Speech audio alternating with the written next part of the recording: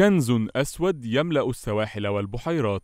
الرمال السوداء تخرج إلى النور بفرزها لمعادن ثمينة ذات أهمية اقتصادية عالية عن طريق مجمع مصانع فصل الرمال السوداء بكفر الشيخ الذي أنشئ حديثا بتكنولوجيا إسترالية والتي تعد الأحدث في العالم في استخلاص الرمال وفصلها. نظرا لما تمتلكه مصر من احتياطي استراتيجي هو الأكبر في الشرق الأوسط ويصل لخمسة مليارات متر مكعب قابل للزيادة. بشكل عام وما يقرب من 240 مليون متر مكعب بمنطقة البرولوس فقط.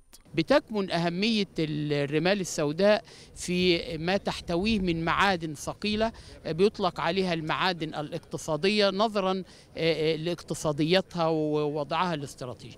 الحقيقة استمدت اقتصاديتها ووضعها الاستراتيجي هذه المعادن ما أنها بتملك طيف واسع من التطبيقات الصناعية الهامة وبتدخل في العديد من الصناعات التكنولوجية المتطورة. المجمع عبارة عن مجموعتين المجموعة الأولى ست مصانع اللي إحنا متواجدين بيها الآن زي ما أشرت لحضرتك والجزء الأول اللي هو موقع التنجيم اللي بنسميه مصنع التركيز العائم. ده عبارة عن كراكة عائمة هولندية تعمل بالكهرباء طاقة إنتاجية 2500 طن في الساعة بيليها مصنع تركيز عائم بيتم نقل الرملة المخلوطة بالمياه من خلال الكراكة من خلال المواسير العائمة أعلى البنتونات. تبدأ الرحلة بكراكات عائمة تسحب الرمال من البحيرات والسواحل وتنتقل إلى مجمع مصانع فصل الرمال الذي يحتوي على ستة مصانع متنوعة تخص كل مادة تخرج من الرمال والتي ستوفر المصادر الأساسية لكثير من المعادن مثل المونازايت واليورانيوم المشع والزركون ومعادن أخرى تدخل في صناعة هياكل السيارات والسيراميك والدهانات ومواد الإشعاع النووي وتبطين المفاعلات النووية وبعض بعض المواد الخام التي تستخدم في الصناعات الحديثة. شركة الرملة السوداء هتنتج معادن أهمهم ال ilmenite والزيركون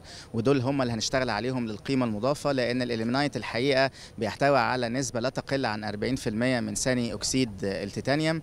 وثاني أكسيد التيتانيوم هو المادة الخام لصناعات كتيرة جدا أهمها صناعة البويات وأيضا صناعات ميتالرجية لإنتاج سبائك التيتانيوم. I think the mineral sands industry uh, is in a state of uh, Uh, demand أعتقد أن صناعة المعادن عليها طلب كبير هذه الفترة وستستفيد مصر كثيرا من صناعة واستخلاص المعادن من الرمال وهذا يعني زيادة في التصدير المصري. ستكون هناك فائدة للمجتمع من هذه المشروعات التي تحتاج لعمالة ومهندسين. لذلك فهي توفر فرص عمل كبيرة وأعتقد أنها قصة نجاح كبيرة لمصر وسيتعاظم الطلب أكثر على المواقع الجديدة بعد نجاح منطقة البرولوس.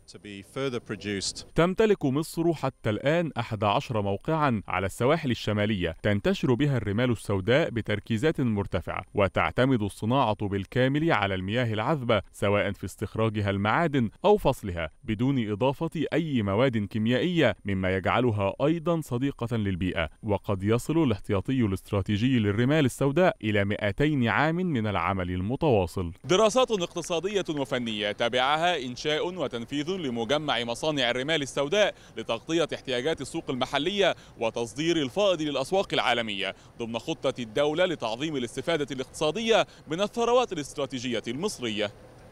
كريم بيبرس التلفزيون المصري.